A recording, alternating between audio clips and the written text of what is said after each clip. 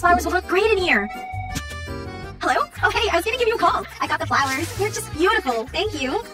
You're so romantic. Hold on. So are you coming over later? We could watch a movie. Oh, and let's order pizza. Okay, I'll see you then. Bye. I'll watch some TV until Justin arrives. This show is so funny. I'm so tired. I'll just close my eyes for a minute. Just a little power nap.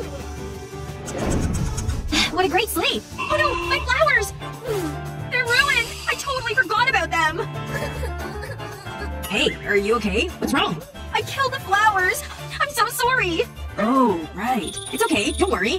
Hang on, that picture frame gives me an idea. I know how to fix this. Just because the flowers have wilted doesn't mean you can't admire them. Take an empty picture frame and place the flowers onto the glass. Arrange them in a bouquet. Just like this.